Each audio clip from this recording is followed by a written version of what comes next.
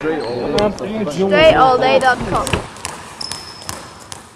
In this drill, I'm going crossover behind the back, then a crossover in front of the body. So behind the back, in front, and as you can see, I'm hopping forwards and backwards with each dribble. So I'm going to start anchoring this dribble out of the right hand. I'm going to cross over from right to left, then behind the back from left to right, and I'm going to do the same thing going in the opposite direction.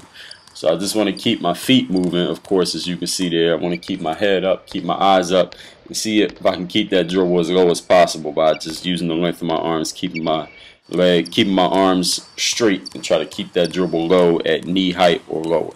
So like I say all the time in these dribbling drills, find different ways to challenge yourself, whatever you can incorporate into it. There's a million different ways you can do that. Hit that thumbs up to like this drill. You got questions, leave me a comment. Work on your game. DreAllDay.com.